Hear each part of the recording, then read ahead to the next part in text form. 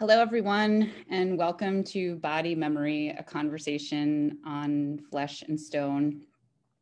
Before I begin, I would like to call everyone to locate themselves specifically and geographically within their bodies.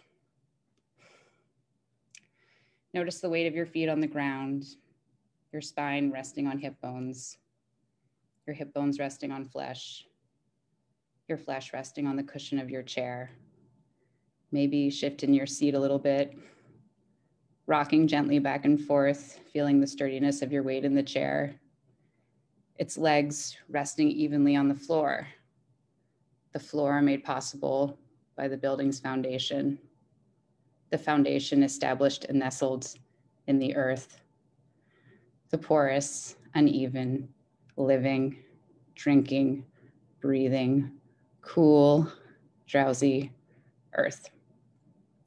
Take a deep breath in, closing your eyes if you'd like, breathing in through the nose and out through the mouth. And as you breathe in, create a sense of taking in fresh air. And as you breathe out, a sense of letting go, releasing the stress of your body for a moment, your mind, and feeling your muscles soften. Let us each think in this moment together whose traditional homelands we're living within whose resources we've inherited and used for daily nourishment, whose sacred spaces we breathe and work and communicate and love upon together within, who was here thousands of years before us, and how do we bring action to the call to reconcile our nation's violent pasts against our Indigenous peoples? How do we give back how do we refuse the harmful practice of euphemizing history, which we do so often, sometimes to make ourselves feel okay or just to make things more easy?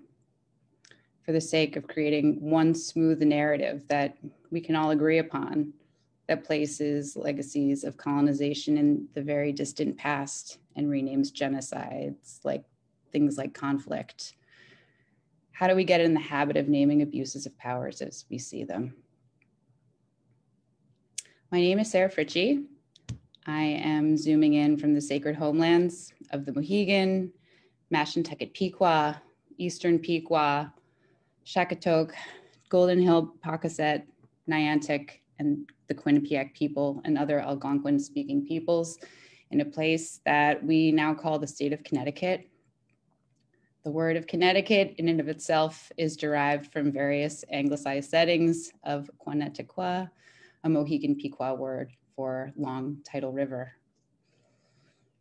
I'm the guest curator of the current exhibition at Real Art Ways called Statues Also Die, which explores some of the questions we just moved through together. Our settler colonial inheritances, the ever-present threat of whitewashing national historical narratives, inherent drive to euphemize state-sanctioned violence for peace of mind and profit, and all of these misgivings, bold opposites, which I know a lot of us on this call probably aspire to. Our ability to self author, to self publish, to self define, to spark paradigm shifts, and determine our own versions of what it means to belong.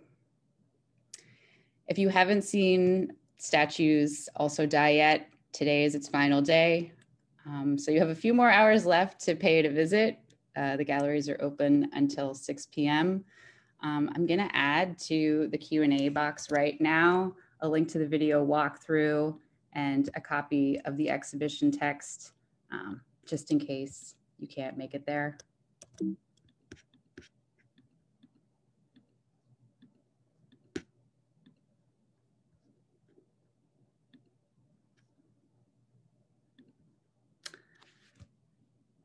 Technical difficulties. I will have my backup behind the scenes, Megan Bent, send that link. Um, in a nutshell, the exhibition brings together the practices of 12 artists into collectives who challenge and renovate the traditional concepts of monument and memorial, and who pose alternatives for how these notions might play out in public space in ways that prioritize the human body over a sculpted body. Set amid the backdrop of a year that was eye opening and spiritually work weary, the exhibition asks a central question What new purposes, status, faith, and power is endowed into an object when you give it the name monument? The artist's combined efforts and statues also die, shed a light on a new set of possibilities for our memorial landscape that is iconoclastic and revolutionary, intimate, full of humor, mobile, and not meant to live forever. I'm joined today by two of the artists in the show, Marisa Williamson and Jeffrey Meris, and writer, scholar, curator, and educator TK Smith, who was the one to coin the title for this talk, Body Memory. Before I introduce today's speakers and turn it over to TK to moderate, I would just like to formally thank Real Art Ways for hosting this show and putting in all the extra love and care and work that made it safe for visitors to view it during the pandemic. Will, Neil, Megan, David, you are a well-greased engine. To the artists who contributed to this exhibition but are not present on this call, thank you all, especially as you grow older, for giving us hope um, that we can maintain creative practices to the Andy Warhol Foundation of the Visual Arts, and the Friends of Real Art Ways for generously supporting the show, to the organizations who cleared the hurdles of COVID to help us secure and prepare loans, including Friedman Gallery, Ronald Feldman Gallery, Now and There, and G Proms Press, and to our wordsmith co-presenter, the art papers for producing a dense, raw, poetic, critical, open-ended journal um, that we'll talk a little bit more about in a second that, like the show, is dedicated to rethinking monuments.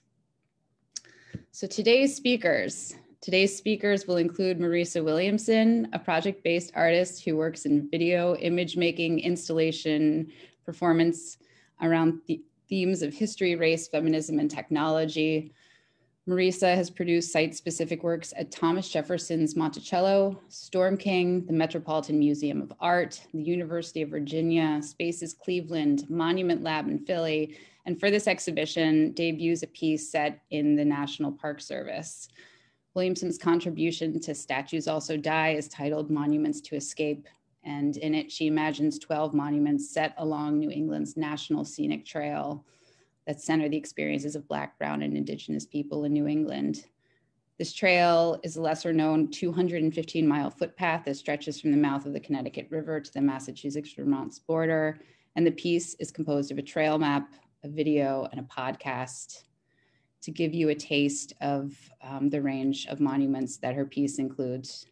She presents a memorial to Gladys Tantaquidgeon, a medicine woman and indigenous protector of ancient seeds, Augustus Washington, a Black portrait photographer who opened a studio in his Hartford residence in 1846 and a memorial to America's obsession with gun violence, perpetuated regionally by cultural conceit and our local revolver manufacturing companies. Her podcast is available for this piece for download for free on SoundCloud. And I will also ask Megan um, behind the scenes to share a link with you all through the Q&A box.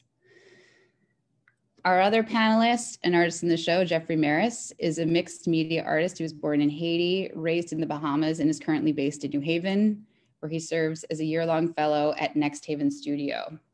He earned an Associate of Arts degree in Arts and Crafts from the University of the Bahamas, a BFA in Sculpture from Tyler School of Art, and an MFA from Columbia University. His kinetic sculpture, Hot Off the Block, featured in the exhibition, is composed of a plaster cast of the artist's torso counterbalanced by a cinder block. Designed to self-destruct over the course of the show, the torso is triggered to rub against the side of a giant metal cheese-like grate whenever a viewer approaches it. The piece did what it promised during the run of Statues Also Die, breaking down four weeks into the show. Um, and you can see a picture of this work in my Zoom background. Finally, TK Smith is an Iowa-born, Philadelphia-based writer, art critic, curator, and educator. He's the curator of Virtual Remains, a group exhibition of Atlanta-based artists opening at the Atlanta Contemporary in 2021. Look out for that. And a PhD candidate in the History of American Civilization program at the University of Delaware, where he researches art, material culture, and the built environment.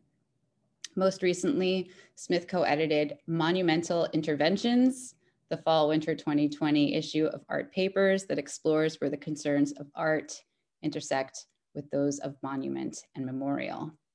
In the words of Hartford born choreographer, choreographer Arian Wilkerson, TK's practice is monuments.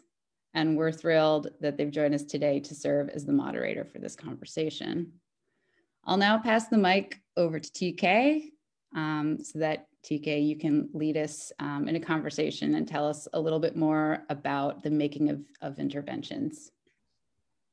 Thank you so much, Sarah, and thank you everybody for joining us. Uh, I have to say, uh, it's been an extreme pleasure to have co-edited the, the most recent issue of Art Papers. And it just so happened to be Kismet, you know, Sarah Higgins, the editor of Art Papers, invited me on as a guest co-editor because monuments, as Arian said, as you said, is kind of what I do.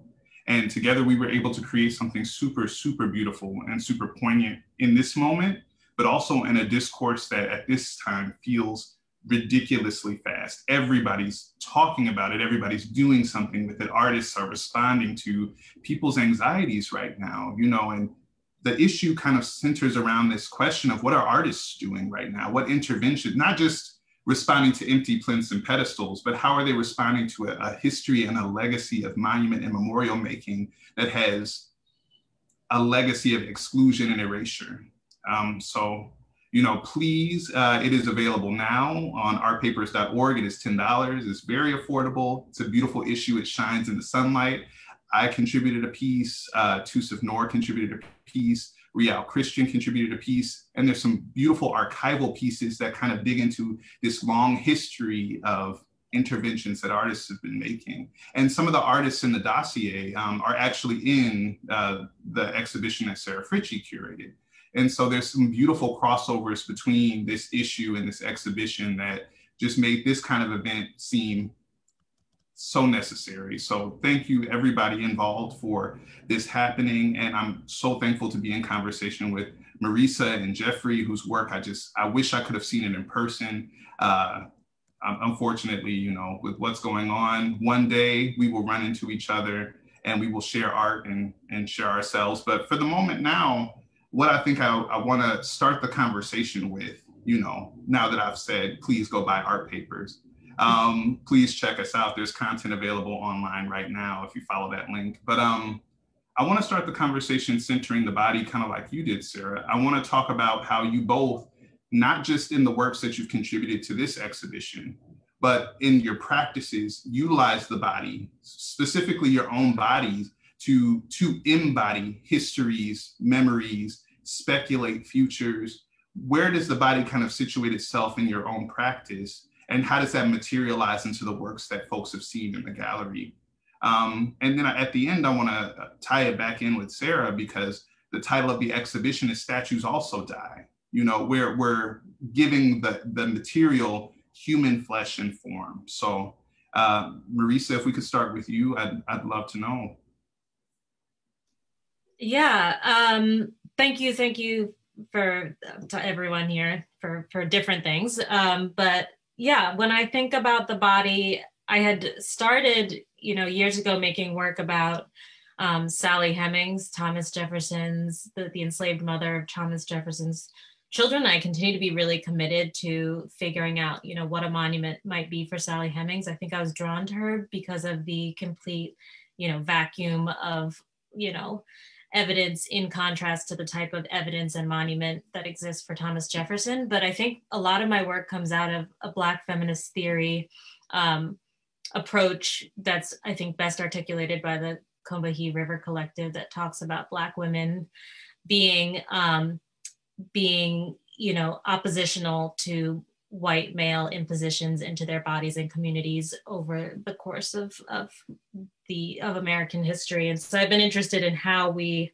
um, kind of as Simone Browne puts it, like find ways of tracing um, Black women's contributions, even where they've been erased, by looking at the contours left behind by their absence. And so my work is a lot about figuring out where those bodies begin and end, where the body isn't visible, but from the disruptions created around those bodies, tracing that to figure out um, where those people existed and what their contributions were and what their interior worlds might have been like. And for me, that's a kind of anti-monument because it's all about the absence. It's just completely about everything we can't see, everything we can't touch, everything we can't fully know, but have to kind of intuit using our own bodies and trying to trace a kind of continuity through shared like exteriors or appearances over time um, and, and figure out what Black women, Black history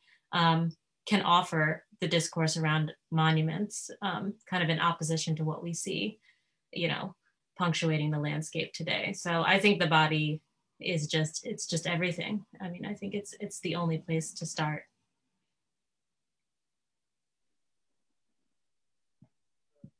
Uh, and thank you, Sarah, and thank you, TK, uh, for that lovely introduction and for having me here today. And thank you to everyone at Real Art Ways.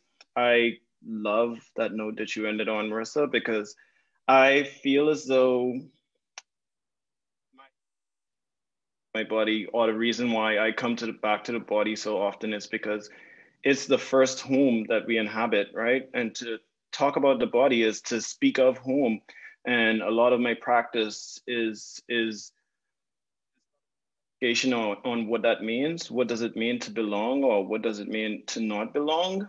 And i think specifically to be a black immigrant man in the world in the way that i am in the world today um, like my body just becomes a surrogate or some sort of a metaphor or lead into this broader this broader dialogue and more specifically with the work that I have in the show now, that comes, the block is hot comes from a body of work, Now You See Me, Now You Don't, that I've been sort of synthesizing for the last two and a half years, two and a half odd years.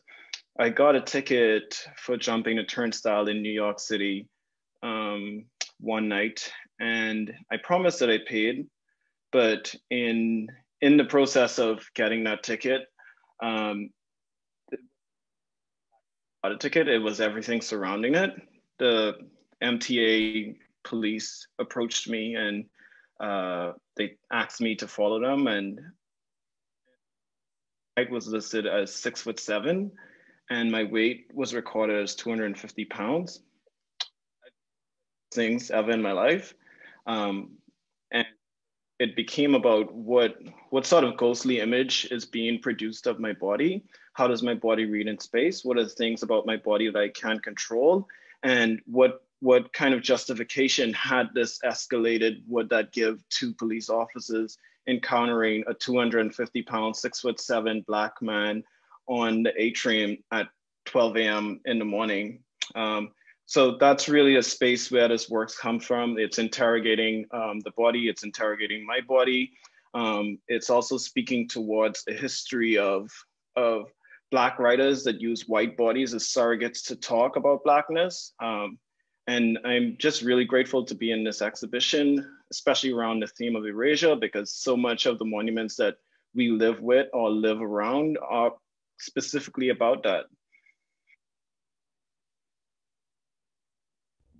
I'm gonna hop back in real quick um, to just say, like Marisa, you specifically use your own body um, in a lot of your works, and particularly with this this work, this multimedia, multi-interdisciplinary work that you've created for this exhibition.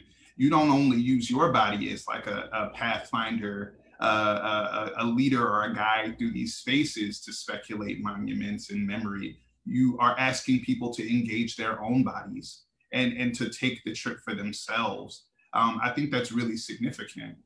Yeah, that's a good point. I I had started making the work about Sally Hemings, and then over you know after five years was being feeling really burdened with like having invited projection. One thing a body and a monument also do or allow people to project onto them, and I think it was through um, through Monument Lab that I was able to, like, I got an invitation to break out of that work in a lot of ways. And I made a, a augmented reality smartphone scavenger hunt through Philadelphia that um, was the first for, foray, foray into this kind of collaborative, inviting multiple people to propose scenes from history and to invite them to embody the way I had been embodying, and to in so doing produce a chorus of voices, which was a lot more effective than well, not a lot more effective, but I thought really useful and differently um, effective at kind of making these demands for justice, which I had been trying to do through embodying Sally Hemings through performance originally. And I think recently I've come to understand how powerful this chorus of historical ghosts can be. Like, I think that's largely how people are feeling this call for justice around monuments is that those people who aren't on pedestals are like coming up out of the earth and like you know demanding whether it's in charlottesville richmond you know they're demanding to be heard because we've we've kind of flipped them onto an underside of the of the landscape and and they're they're not you know detectable readily detectable unless you you do this research and so for um, monuments to escape on the new england scenic trail that was even harder i felt to kind of conjure up because the landscape of new england um, i think folks in new england generally feel very satisfied with their relationship to the past. I think in general, in New England, you know, people have been on the right side of um, history and these kind of larger movements. But I think that made it all the more difficult, but all the more important to me as I did my research to find the places where um, things have been erased, where people have not done, um, you know, not done their their neighbors, historical neighbors justice, where um, we have appropriated the names of Indigenous people, put them on street signs, school buildings, and then at the same time, and, and in so doing, assumed that they no longer exist. You know that that the the Pequot or the the, the Mohegan are not no longer with us. Um, so I was really interested in how New England offered a, a really a more challenging. Um, landscape to produce that chorus of people because I think it's a kind of quiet, um, it's a kind of quiet place and it requires really close listening. Um, I mean, I think Sarah led us really well in a kind of close meditative listening to who who who has been pressed back into the into the landscape and has to be kind of conjured out of it. So yeah, the chorus of voices is really important to me.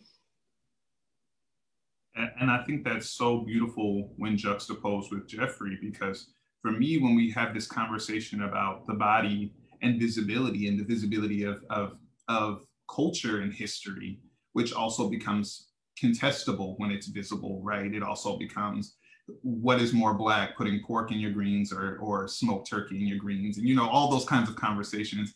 But um, I love the juxtaposition because Jeffrey's is so close to their own personal physical body and likeness. Um, and, in, and, and it, the work visibly shows the vulnerability of that body with just another presence in that space. And so in terms of like the discourse that's happening with monuments out on the street, it's like together we can pull this down, you know, and, and something in that togetherness feels like strength.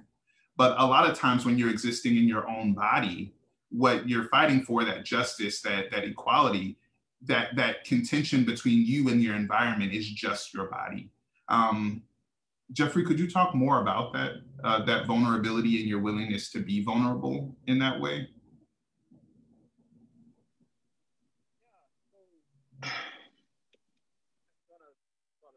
You the conversation that I began in the introduction working making this work. So I got this ticket where again, six foot seven, 250 pounds. And me at the time, the way that I thought about the world was very like, how dare you give me this ticket? I'm gonna use every tool that I have to fight this thing. And I end up going to court. And here I am in court fighting this $100 ticket because I'm too cheap to pay it. And I feel as if I've been wronged and I need to undo this wrong. And I realized, like, why are there only black and brown people in this courtroom fighting the same case that I'm fighting, right? and that's not to say that these like some of us probably didn't actually jump and didn't pay. In my case it was just that i had just moved to new york and i didn't know how to use my mta card and it took my money and so i jumped. And so that was my whole spiel. Um, and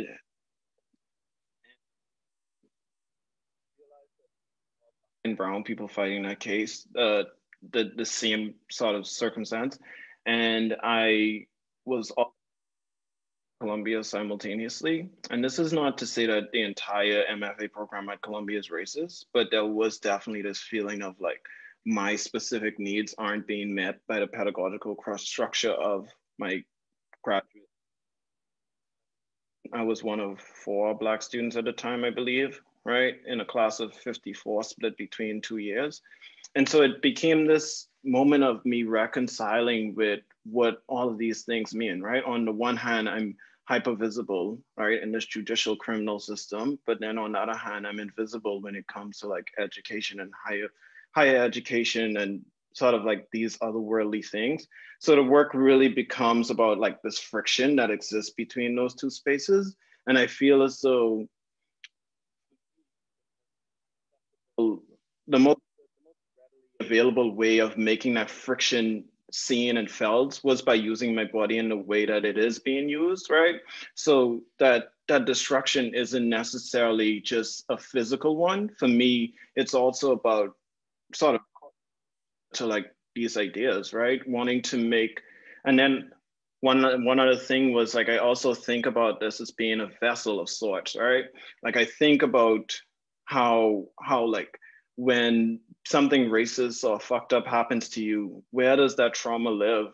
Does it become a part of their chemical DNA makeup? And is there a way that I can extract that information and somehow use that body, that cast somehow becomes a vessel and all this racialized trauma and violence lives in that? And would it be a stretch to say, okay, I'm literally like destroying this trauma, like I'm grinding it down?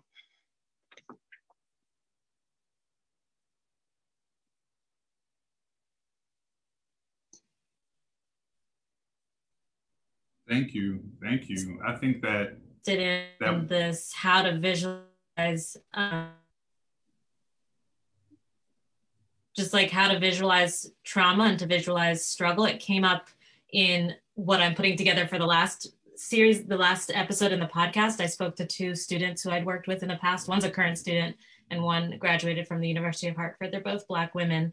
And we kept coming back around to like questions of, of what is magic? Like what kind of magic power do you possess? This comes out of um, an interest in tituba the first one of the first people accused of being a witch in salem village. She was a, a black woman enslaved there and then then it got intersected with this question of like the law as it existed for puritans which forbid you know people from practicing anything outside of you know um, a very strict uh, regimen of, of Christianity. And she, of course, was practicing like healing and possibly, you know, you know, West Indian practices. But we were, I was asking these two women, Cherokee Cowherd and Hunter Parker, two Black students, what they felt was their magic. And we were really talking about what is this unseeable um, power to absorb, you know, absorb trauma. This question of where does it go was really interesting to us, and how does it find its way back out into the world,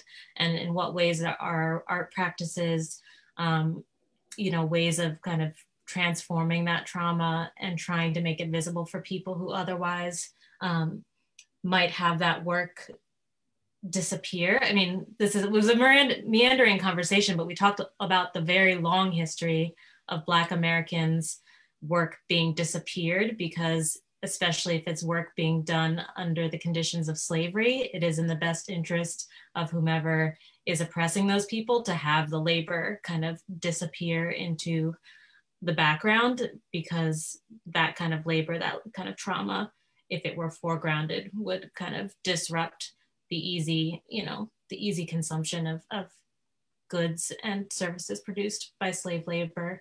And so I've just been really interested in how you trace, you know, these historical disappearances of labor or like compressions of trauma and how you trace it up to the present. And I think that's one thing a monument does is it's supposed to draw us a lineage between like something in our past to the present and there's some people have a have a, a market like you know they've cornered the market on that tracing of history. And I think it's really crucial that people are able to propose new ways of tracing these histories up into the present. You know, the criminal justice system, there have been some really interesting dramas recently. There have been really interesting research, you know, projects done recently that just allow us to see how the criminal justice system has been operating smoothly for the last, you know, 200 plus years to put people of color behind bars and even silenced. Like just what does it mean to go to court and not be able to rep- be represented adequately in court? And i'm just interested in how monuments like remind us of things we need to know. And i think that's the political battle right now. Thank you. Uh, one of the things that i'm really interested in in my writing um, and one of the reasons why it's so genius that Sarah was able to put us together is I'm interested in, if you go back to Toward a Monumental Black Body that came out in the spring issue, um, of having a conversation with Black people or marginalized people in general, whatever, however you may, may be marginalized in the United States, about how your body is evidence. You know, building on what Jeffrey said, your body is is home. It's also the site of your your memories. It's the site of how you experience the world around you sensually. Um, it's the it's the your sense of identity is built from the body out, right? And then when it comes to the marginal, you always have a larger voice. A larger power telling you who you are, what your history is, what the value of your body is, using your body a, a, long lineage, a history of our bodies as labor, as objects, ungendered, unsexualized, overly sexualized. Um, and so Toward a Monumental Black Body was, was trying to do two things at once. It was trying to say like, you are evidence. You are the, you know, that saying that people get on t-shirts like, I'm my ancestors' wildest dreams, you know, like, um, even in the same vein as that, it's understanding like what's left of what's happened to all of us collectively as a nation is embodied in you DNA wise, trauma wise, all of these things are in your DNA.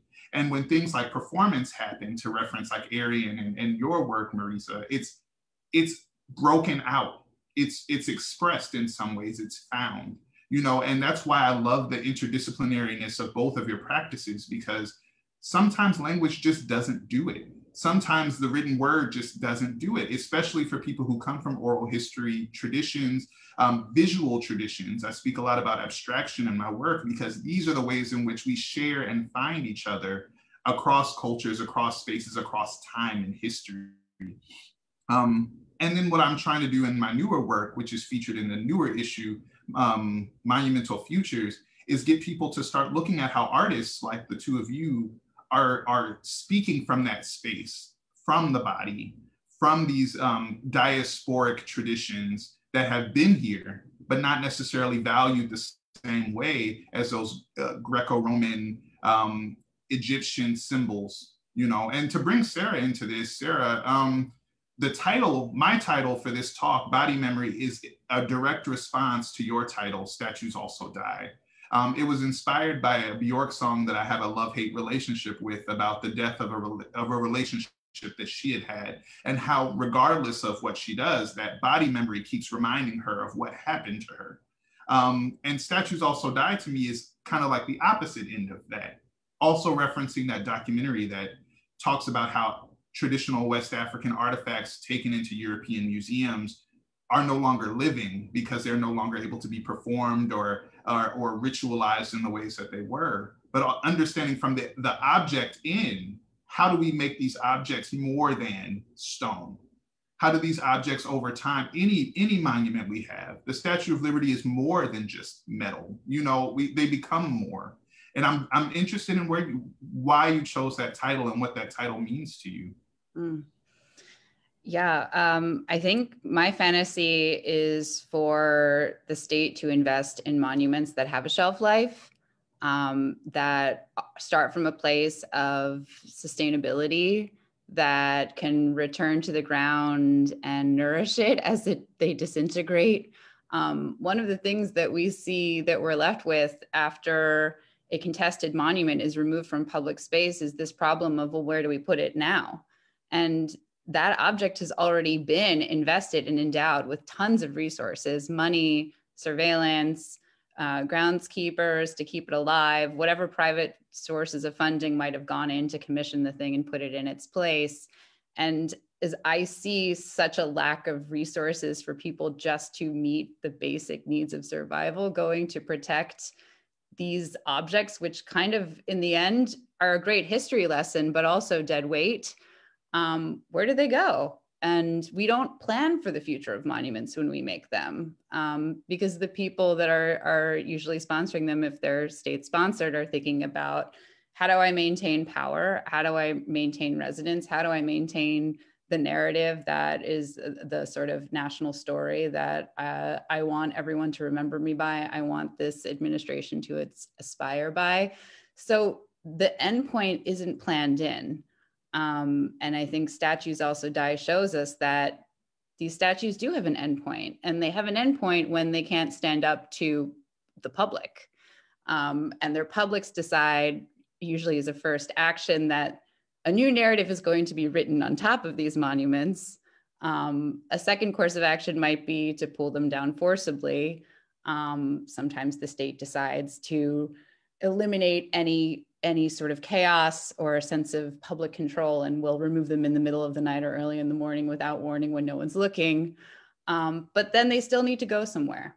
So, and and I think for the people that are in um, working in government or working in museums, those resources don't really exist to maintain these objects. So where do they go is the question. And I, am really fascinated by, a, you know, a myriad of suggestions that artists have brought to the table. A lot of people want, um, who work in monuments want to have pieces of monuments that are taken down so that they can remake them into other things. Um, some people have buried these statues in cemeteries. Um, and I think the most important part of that is the symbolism of, of removing them from pedestals um, and bringing them down to the place of the earth.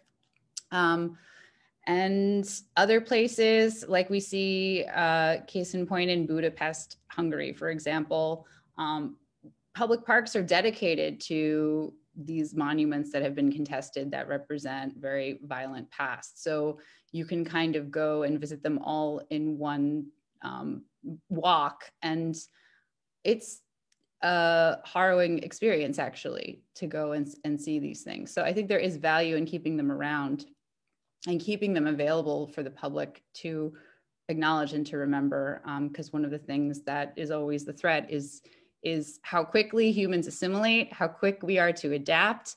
This is because we are so used to experiencing and embodying harm that it's our natural instinct to keep pushing forward. Um, but it does allow for a little bit of amnesia to, to be a cloud. And um, so I think, you know, at risk here in this questions of monuments and designing monuments that are designed to die um, how do we also design the ones that are important to us to live on in the body?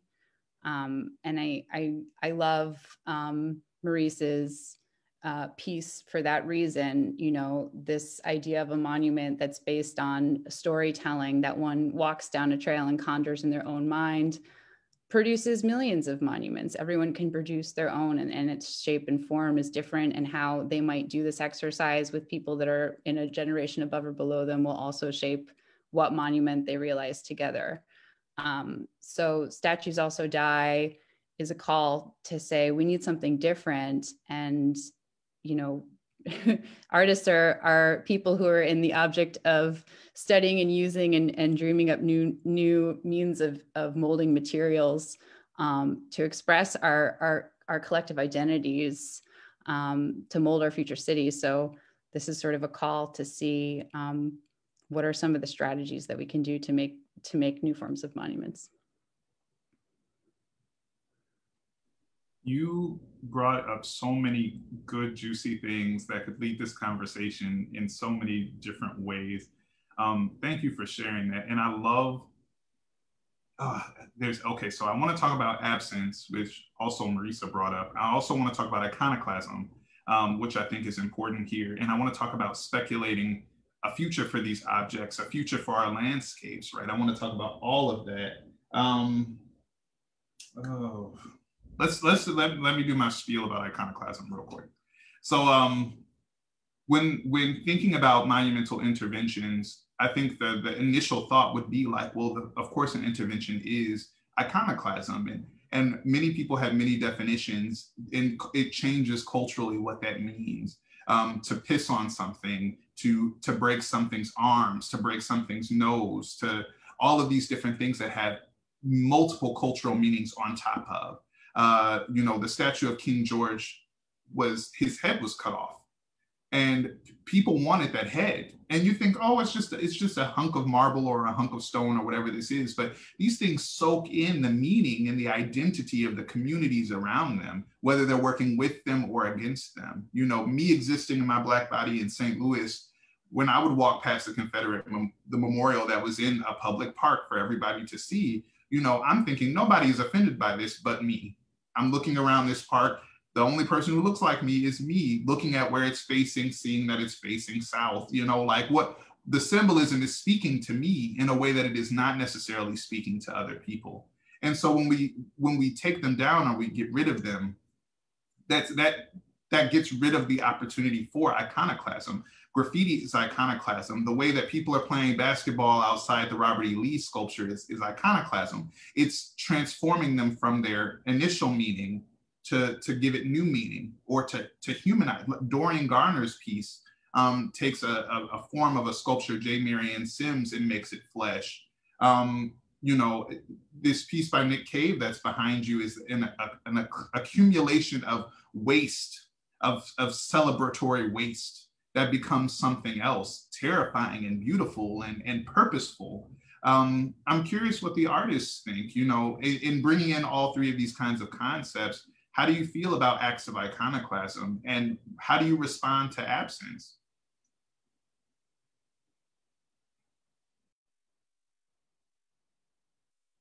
Yeah like iconoclasm um, and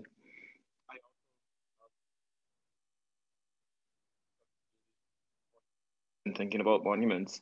Um, I, I something that that I think about often. I'm from the Bahamas, and uh,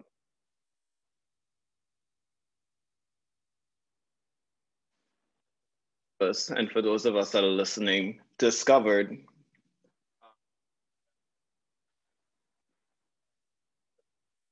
1492. And so to this day, we still have a Christopher Columbus in the front of Government House, which is the highest uh, state office in the Bahamas. but one of the two.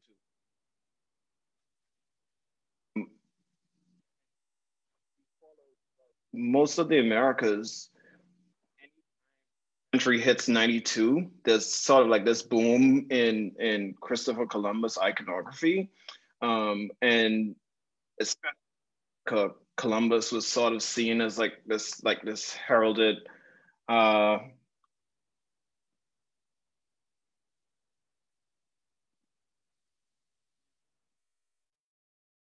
Hello? Hello? Yeah, so what I was saying is that uh, anytime the century hits 92 around the 90s, there's like this boom in in interest in Columbus, and he was sort of seen as like this this.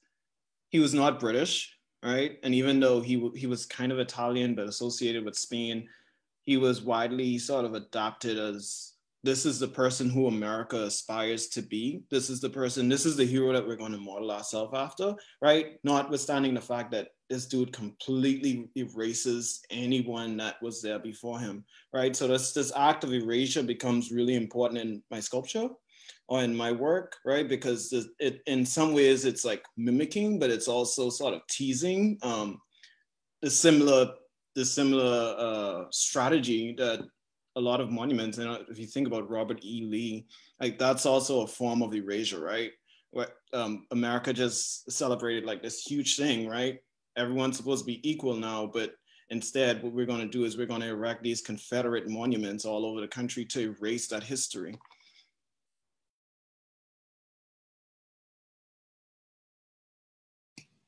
Yeah, I've, I've love the idea of this word iconoclasm. I was looking it up. I was like, wait, what does that mean again? But you've really given me a new, a ni- I knew that I knew of the word, but you've given me a nice way to think about a lot of what I have been trying to do for a while. As I said, I had been, I had started out with like a an anger around Thomas Jefferson and a and an interest in how his you know mark was felt on the world um not um it was less about Thomas Jefferson but more about reading about Jefferson the way that historians um psychologize him the way that they give him an interior world they're like thomas jefferson loved you know taking long walks and he would have never done this he would have never done that but he would have done this and i was really interested in how another historical figure could be entered into in that way, given an interior world, and how by doing that you perform a kind of graffiti on the image of the other. Um, so, you know, what does it mean to write on Jefferson? Um, you know, Sally Hemings was here, or to kind of shape the spaces that have been carefully um, curated to reflect his being a responsible person and to somehow go to those spaces and perform his irresponsibility. So going to Monticello, a place I'm really obsessed with, you know, historic homes and how they serve as monuments, but to go to places like a historic home, which has been arranged to look like a place of, of respectability and um, purity and a kind of, um, you know, clarity of thought and you know integrity of vision and to do something to like rip a hole in that space and then to try to sew that hole up through performance and try to kind of suture two disparate ideas together. That has been really interesting to me because I think while we have monuments on one hand as statues, we also have all of these monuments that are not statuary, like houses, um, as I said, names of streets, like the name, just naming things, um, uh, collections, archives that we keep that are monumental. Um, the Mattatuck Museum has a collection of, of presidential signatures, and I've been interested recently in like what it means to collect signatures of these dudes. Um, and so I've been really interested in how the iconoclasm can be performed to highlight the many ways we have um, allowed monument to to seep into our lives in kind of not you know non-granite ways um, and and because i think that's where people need to be made conscious is that even the stories we tell are monuments there's some theories about um, nuclear semiotics like what we're going to tell each other about what people are going to talk about in the future to warn each other about um, nuclear waste and and you know dangers that are no longer visible, especially environmental dangers. And, and a lot of what's come out of that discussion is how we, any of us have produced myths that are no longer, people no longer understand why the myth exists, except that the myth is meant to warn us against some sort of danger that's buried below our feet or, or in the woods or in the depths of the ocean. And so I've been interested in how myth um, can kind of supplant physical monument and how it's already been doing that and how again people can work against it in iconoclastic ways you hit up against so much of what i do and i really appreciate you for that because one of the beautiful things that um, happens in that conversation in the issue uh, with Che Gossett is they say tear down all monuments to slavery including prisons and jails that's a poor quote, but like in monuments, physical monuments, be they to like Columbus or or your grandparents, like they're all in results of extensions of these institutions that shape our government, our society. And it's like any form of defiance against those institutions is is resistance, is iconoclasm. You know, they you go to a public school and you don't walk through the metal detectors, you're saying, you know, I, I don't care to participate. I don't care to revere.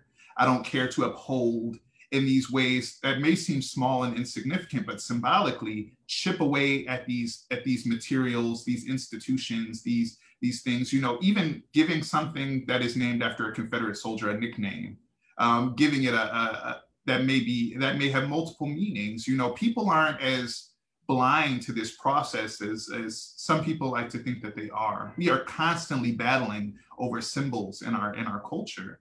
And whether they be like sports mascots or or prisons or schools or wherever these institutions extend themselves people are constantly making acts of iconoclasm and i think consciously or subconsciously we are all resisting the things that oppress us i hope um, and I, I, would love to empower people to continue to resist these things that oppress you uh, so yes thank you so much and, and what about absence you know like i think about histories that uh, and I've been writing about this a lot recently because I'm preparing for a show, but like what do we do when there isn't material? You know, the the idea is that these sculptures last forever. You know, they're kind of they're kind of meant to look like they last forever, even though we're a baby nation and most of these just look like they last forever because they're modeled after European forms or or Egyptian, African, East African forms. But they don't actually, they're not actually that old. And they actually take a lot of money and effort and energy to upkeep, right? And so it's like what do we do with all of those histories that don't have material? How do we start to build those institutions that never kept records? You know, like never, where we can't dig up the baskets, they disintegrated. Um, and how does that tie back into the body? If,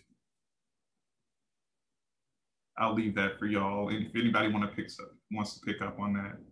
I'm just really into, I mean, I'll just say quickly, like Saidiya Hartman, her practice of critical fabulation, I'm pretty deeply invested in what it means to produce parafictional or um, you know kind of stories where facts are missing.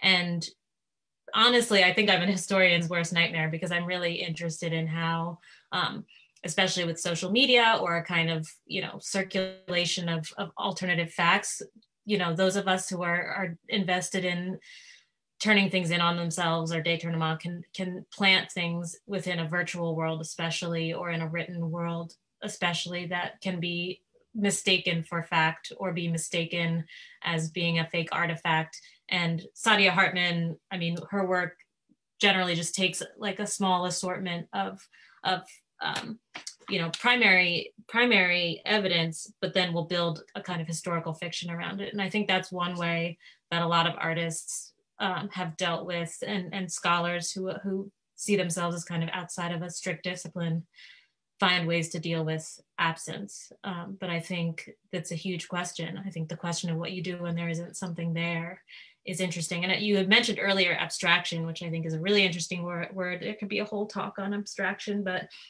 what does abstraction mean in a world um, where bodies like Emmett Till's can be abstracted in a non aesthetics that you know a non-pictorial sense historically like deformed. And then we live in a world sorry getting fighting this whole thing off but when there was that whitney whitney ex- exhibition and that painting of emmett till was in there a lot of really interesting questions came up about um, how does abstract art give us any language to talk about legacies of abstraction when you think of the word as just drawing human humanity soul life out of bodies. Um, what does it mean to just pull out of people? Um, what makes them recognizable? And so yeah it's not a clear answer to your question but i think these questions of when you don't have something there to work with what other language especially language that maybe comes out of visual theory can be used to help understand how to produce material out of the air. Because I think the conceptual art project has always been one of trying to make something out of nothing, or even the blues is about making something out of nothing. Um, I think people, there's a way, people know how to do it. All right, I'm gonna attempt at responding to this, but I'm not sure like if it'll land or not. I'll just give some thoughts.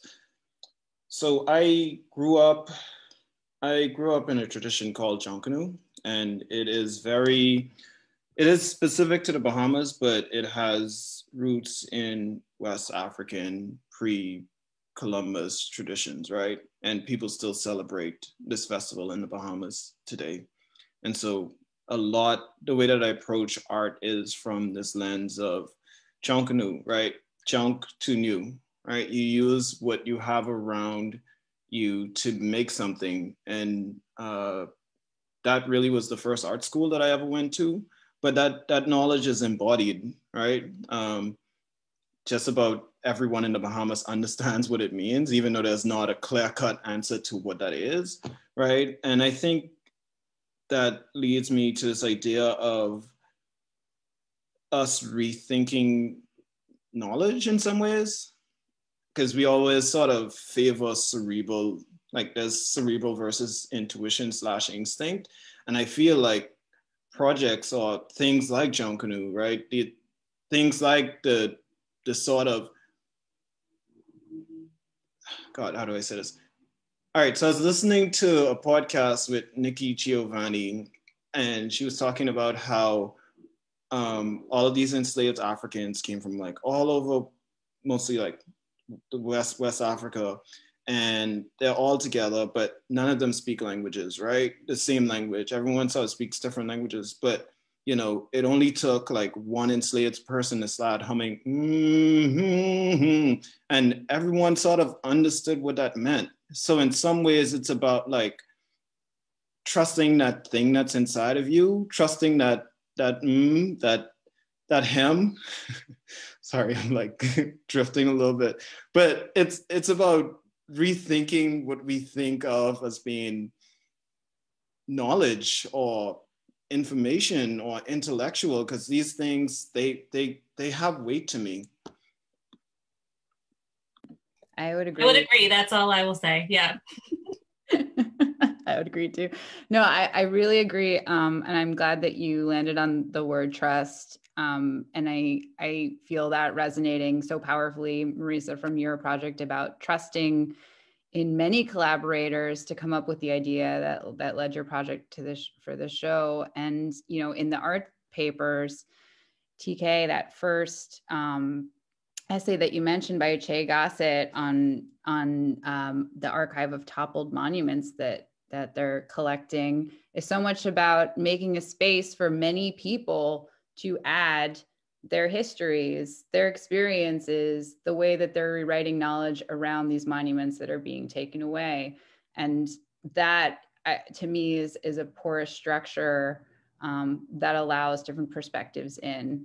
Um, and, and, and in another way, it does this thing that I'm, I'm so curious about. It's like, how, what are the terms by which we come across absence and we understand it as something? You know, like and that doesn't have an answer because it it it it relates profoundly to something that came before it that we do not see. And it makes me think so much of the fury that i feel around anyone who approaches a, a space and and and develops on it thinking that is a tabula rasa. This is not. Um and so how do we how do we how do we mark absence? How do we know we're encountering absence when we do it? Um, can it happen in the physical space itself? Does it require an object to have a presence there of a certain amount of time? Does the scar that's left behind or its shadow or its phantom resonate? Who, who carries that knowledge and how do we share it and how do we pass it on?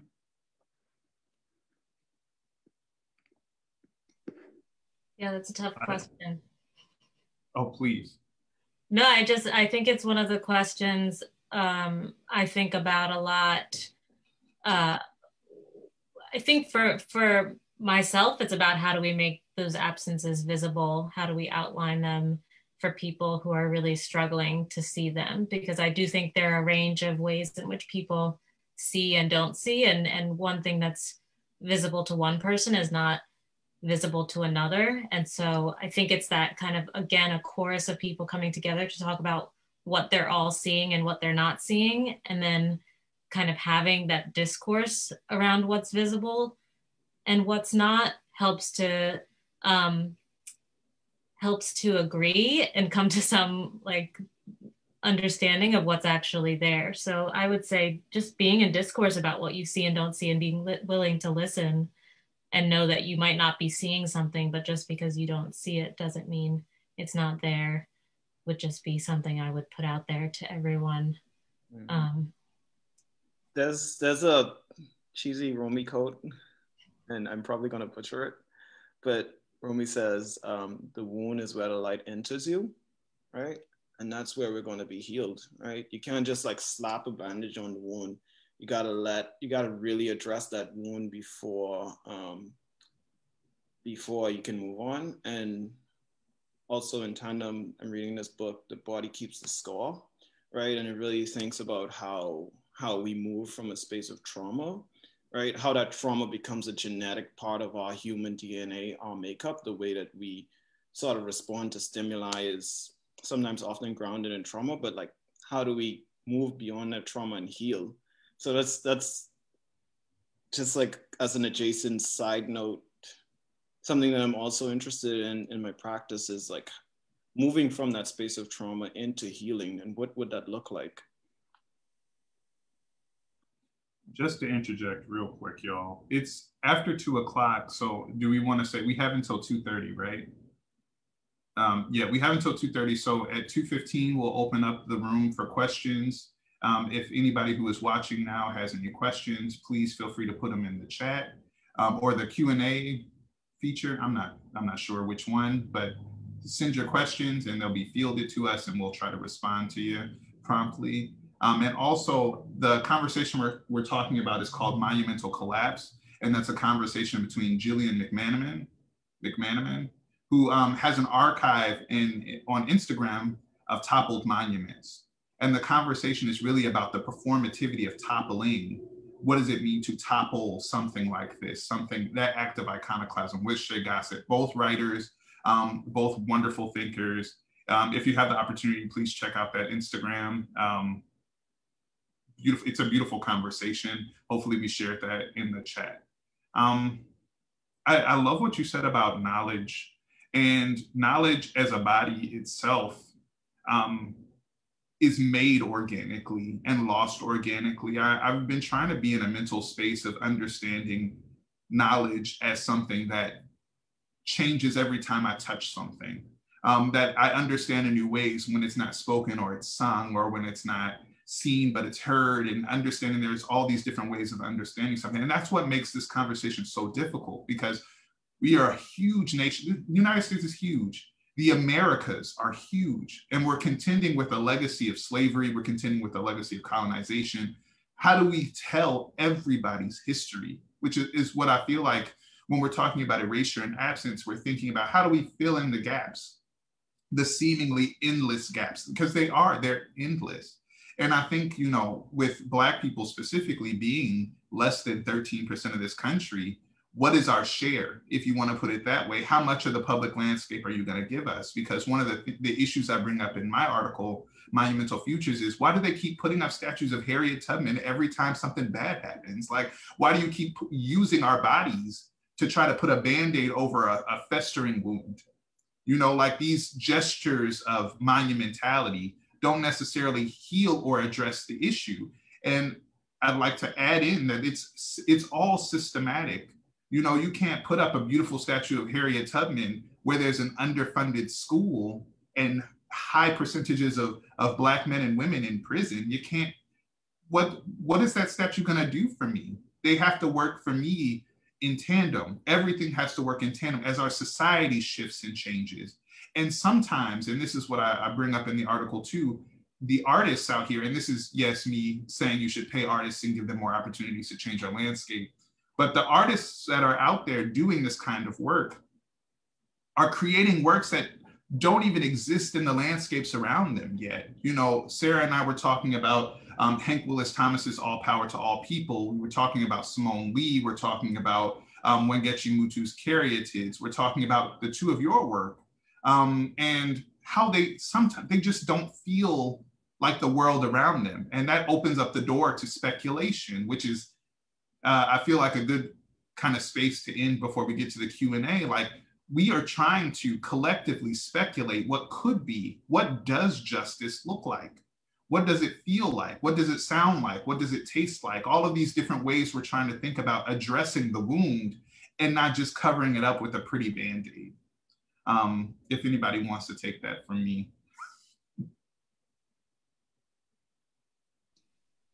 Um, I love the speculative. Um, I again, you know, maybe like Jeffrey, my my thoughts aren't like super together yet, but things that struck me recently that I've been thinking about for some time were um, Amanda Gorman's speech at the the um, inauguration, and I have for a while been thinking about this idea of how we look to our ancestors and how we will look as ancestors to the future, and just thinking a little bit about um, how we how we create things that you know like the pyramids you know things that will be confusing but interesting and compelling when looked back on in and out of the context whatever context lives and gets carried along with the objects and and and land masses that we make and i guess when i think about the speculative i think a lot about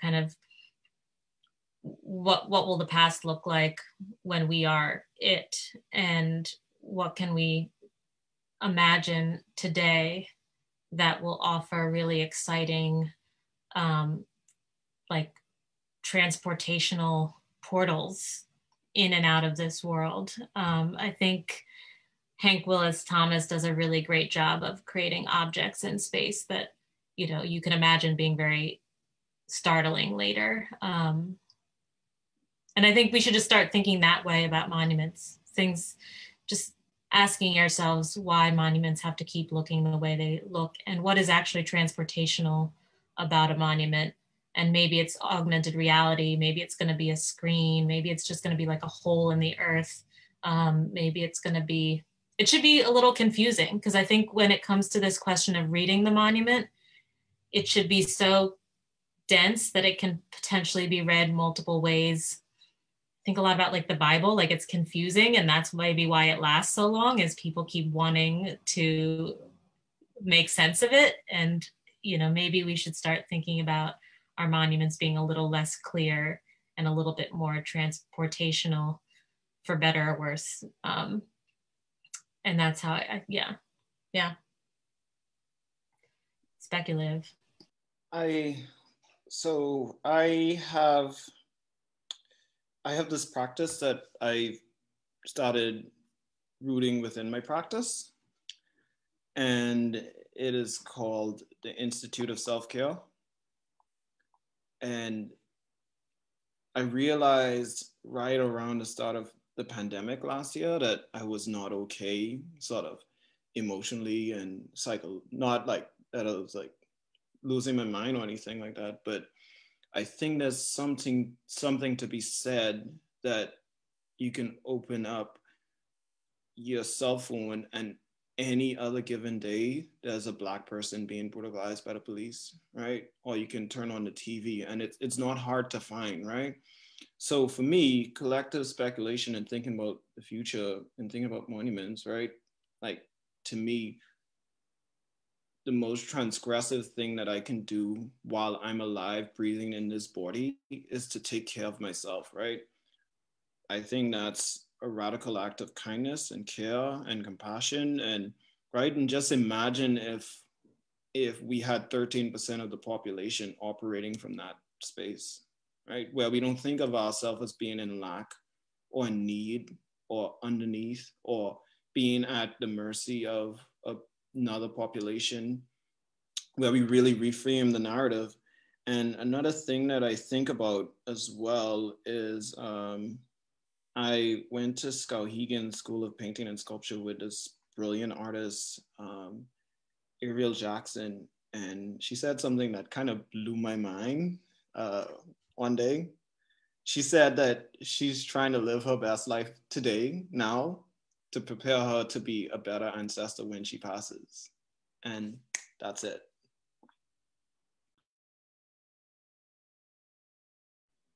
Sarah, did you have anything you wanted to throw in? I did, and then what Jeffrey just said just zapped my brain of what I was about to contribute. I'm so sorry. Carry on. No. um, I think that the future is in the present like we are presently making the future right now in this conversation but then in all those choices we make day in and day out whether it be to like get up and speak or whether it be to rest and restore um, one of the, the issues i have with future making and you can push back on me because I was just talking about speculative futures and now now I'm all over the place because it's not an easy conversation, right? It's like, how do we respond to what people need? Like actually, actually need right now, not, you know, like in 1865 when the Daughters of the Confederacy were building these monuments, not in 1960 when they were still building these monuments. Um, but now, like, what do people in my neighborhood need? In COVID, what do we need?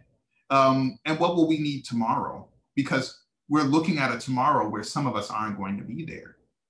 You know, people are already talking about what does a monument look like to COVID-19? What did, what will it look like for us? And then we, Sarah and I talked about the 9/11 uh, memorial in New York and how that absence feels so true and and translatable across across disasters but how it can be read differently if you wear hijab, how it can be read differently if you are an immigrant, how it can be read differently if you are a black person or had a family member who worked in those buildings, how it can how it can be dense, like Marisa says, it's dense and and, and holds many many histories. And so I think it's it's a hard conversation. And if I could leave anybody with anything that's out there listening to these conversations, having these conversations, is always pull it back to what is needed now you know, there are a lot of histories out there. There's so much, but the, think of the histories you needed when you were young or the histories that your community needed before it was displaced or disbanded. Think about histories or, or future speculating that can be taken with you when you are displaced, that can be taken with you when people try to erase you. And always, I think, pull it back to the body and fortifying yourself. Like Jeffrey said, fortify yourself in that because at the end of the day, we are we're the evidence of what we have right now. You know, and I may not have a tongue tomorrow, but I still have eyes and I have hands, and I may not have hands tomorrow, but I still have something to give people later. So um, that's how I'll end it. Thank you, everybody, so much. And can we take some questions? Uh, how, how are we doing this? Yeah, um, there's a really great question right now in the Q&A box from uh, Amira Brown.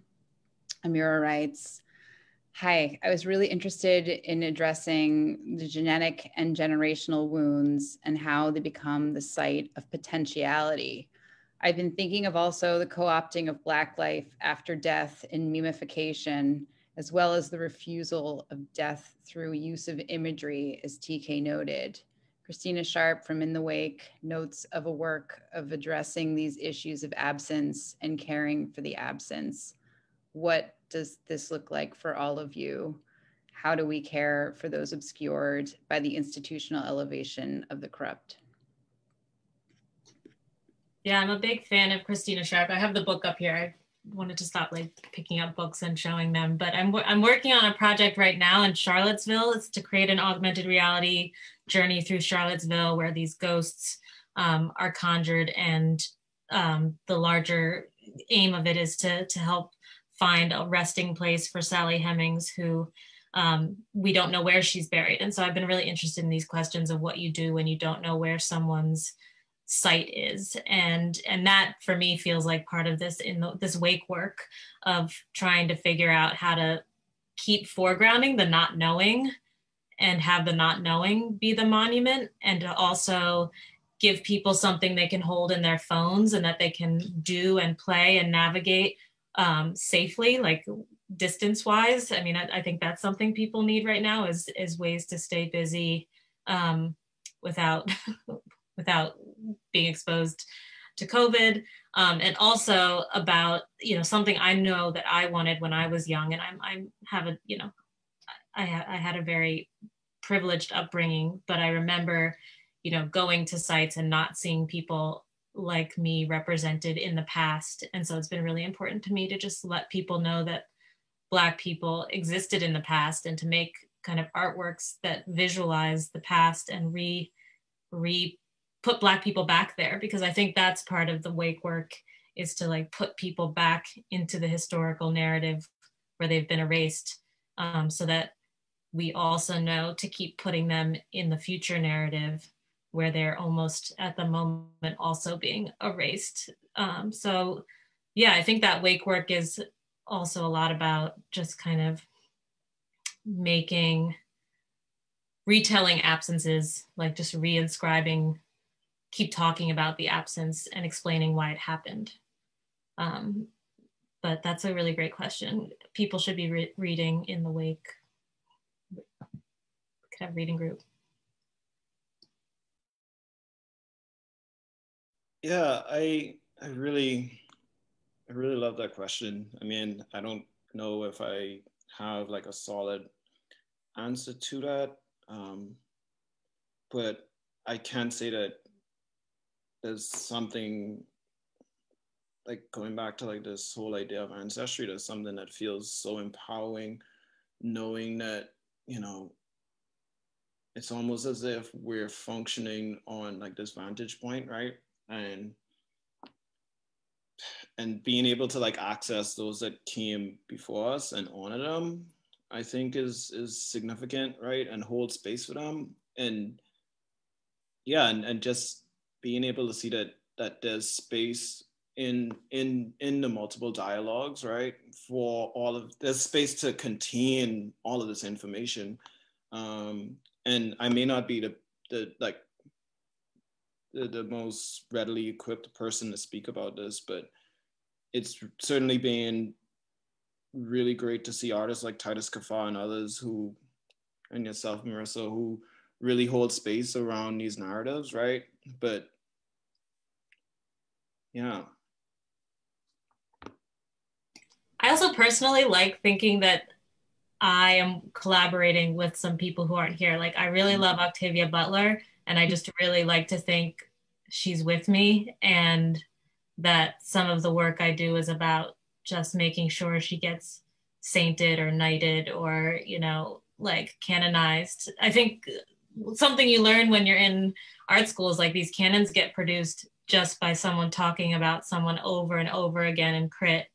And I've been really interested in how different types of people can be brought into the critique and really be used to explain artworks especially by Black and Brown artists, where historically in institutions there have been no contexts. You know, if no one reads Christina Sharpe, no one then knows how to critique your artwork, and then it just gets reproduced. So I've been really interested in institutions, especially schools, how we can change the conversation around artists of color's work so that they're getting a fair, you know, a fair critique that pulls on back to this question of different types of knowledge, like all the different situated knowledges that get excluded from institutions. Um, situated knowledge is a great concept people should look up also, which is this idea that we get knowledge from um, from lots of different places and from inside our bodies. Mm. And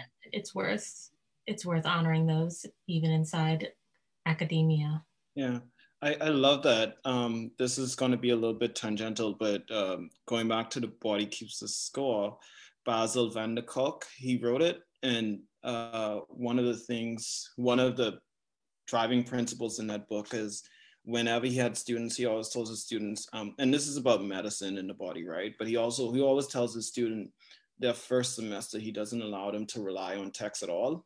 He's like, the information is in the front of you right? You're dealing with people that are suffering from PTSD and different mental and psychological um, uh, impediments. That the information is in the front of you. Nothing you can ever read from a textbook will ever surpass what you're looking at right in the front of you. Yeah, I would just like to add, you know, coming from a white perspective, like what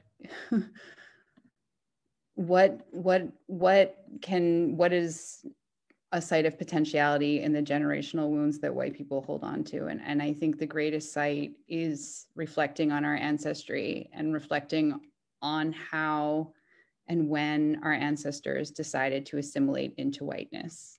I mean it is a social construct. And i think in the arts, in a lot of cultural circles, a lot of attention, a lot of dialogue is um, thinking about Blackness and the Black experience and the Black body. And the charge to white people is to not appropriate that space, um, to, is to look back on the self and understand how white identity um, has been constructed, created, perpetuated, and continues to be embodied. So that's my that's my site of hope for myself and for other white people. Um, and I'll piggyback off of everybody and say interdisciplinary scholarship is great. Like it's it's not just the future of art history, it's the future of every discipline. You can't really tell a full story without all of these different methodologies, all of these different canons, and different thinkers pushing against those canons. And also, even outside of the institution of like higher education, like your ancestors, I feel like give them some credit. You know, Toni Morrison said in, in that interview, like, it's all in my books. Like, we have unconventional ways of, of passing knowledge, but they are passed and they are in us and they are around us all the time. And I think artists and, and, and non-conventional historians, non-conventional cultural workers are doing that digging work to really interpret these things for the people who have who've forgotten or don't value what a, how a quilt speaks or how a blues song speaks or how these different cultural productions still speak um, in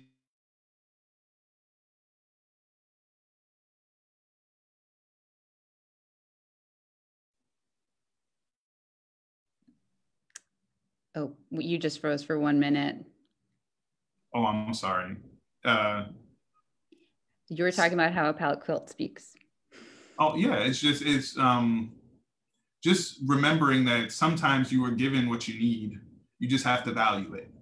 Um, and sometimes that absence is intentional. Some people don't want you to know, um, or they hope that you're better off not knowing, which is usually the case with trauma. But it keeps on coming anyway. Uh, do we have another question? Yeah, um, we do. We have one more question. Um, this one comes from Sarah Higgins, who's co-editor on Art Papers. Um, she says, my question returns to TK's comment about the necessity of monuments, representation of suppressed histories, historically oppressed peoples, reflecting on real systemic changes, rather than being a cover-up. When thinking about valuing and empowering impermanence, privileging it over false notions and assertions of permanence. Would any of you like to speculate about what the value of impermanence would look like systematically? That's a big question. I have so much to say about that, so I'll go last. I'm just I'll just throw out ideas, things that have been interesting to me as an op, you know, as as alternatives to to permanence are like sustainability. Is sustainability something, it's not about something being permanent, but about it being um, regenerative or reproductive or um, rhizomatic, networked.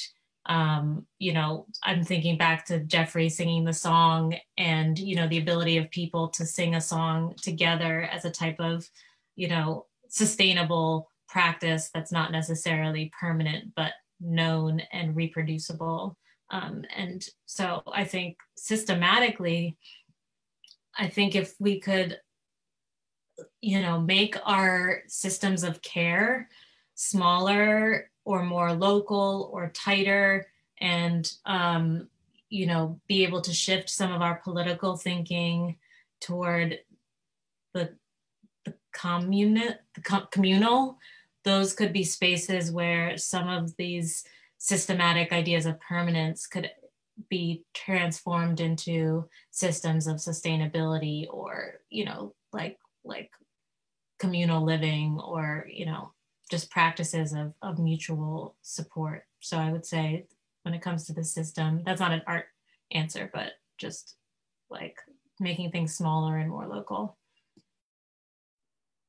I feel like for me, this question mostly has to do with, or at least I feel like the way that I'm digesting this is having to do with the physicality of things, right? Um, the way that we think about uh, West African and a lot of African communities as being um, oral, like grounded in oral things that pass on um, from generation to generation, right? But I think about that as being permanent in some ways, right? the only reason why there's this gap that sort of happens where we start to think about neurosis being like disappearing or impermanent is because this really violent thing happened where we stripped a people of their like of who they are, right? But there's still a lot of things that survived.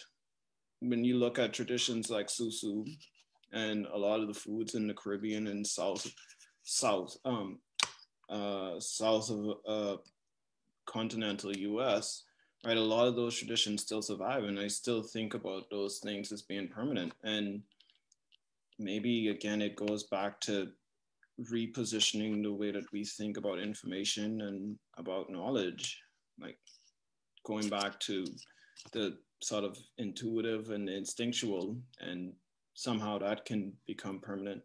But I'm also interested in how that interfaces with like this boom in technology that we're experiencing right now and what what would that mean? How does that shift the way that we think about the way that cultures and information and traditions are stored and passed on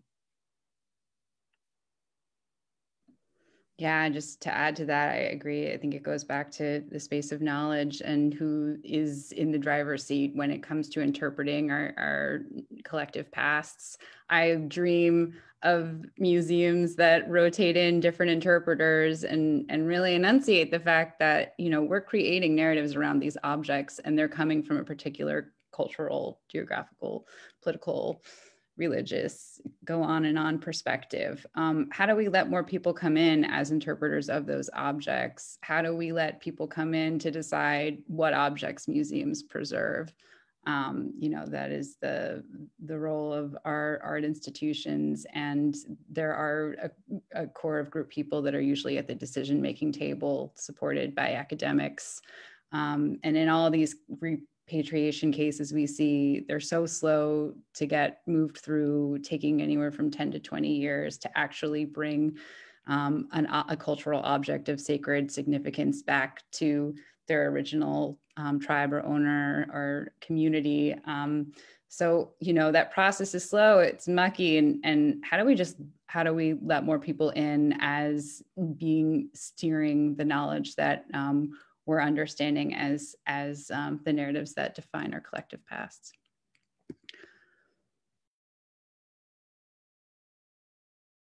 And I, I really do. I have a lot to say about this, and I feel like it was a trap because Sarah knows me so well. Um, but really, just piggybacking off of everything everyone has said, I love the idea of how uncomfortable this this discourse makes me because it's constant. Like I can't pull up my phone and not see something about something that I've been working on for years. And it's like, I'm not the only person in the room anymore. And the conversation is growing and growing and growing, and things are being done. Artists are responding, musicians are responding, historians are responding, and we're chipping away at that myth of object objectivity. You know that uh, that myth of I can take myself out of this. I'm I'm hundred percent for. Let me tell you how this makes me feel as a black man living in America right now. Like I, I love the conversations that are happening and what we're able to pull out of each other in having these very vulnerable conversations in artists creating work where they use their own bodies to talk about the relationships we have to history and to a speculative future like all of that is is the value and it's the meat of this uh, it's about that constant dialogue that constant conversation and i think the landscape sorry um, I think the landscape should reflect that. It should it should change, and pedestals should should you should be able to swap out, swap one in, or put them in different contexts. Or one of the most beautiful things that I find about Kehinde Wiley's or or uh, Kara Walker's Fons Americanus or Wangechi Mutu's Caryatids at the Met are that they move and they're built and intended to move across the, across a city, across a country, in different museums, in different contexts. What happens if our, our monuments start to move and be placed in different contexts and be gifted to different people so that people can respond to it and say, this is our history, this isn't our history, this is racist. Let me tell you why that's racist. This is problematic, that's sexist. Because these are the conversations we need to have to change each other, you know, and be less racist and less sexist and less classist and all of these other things. So I'm, I'm in for the discourse. I'm in for our landscape looking like discourse.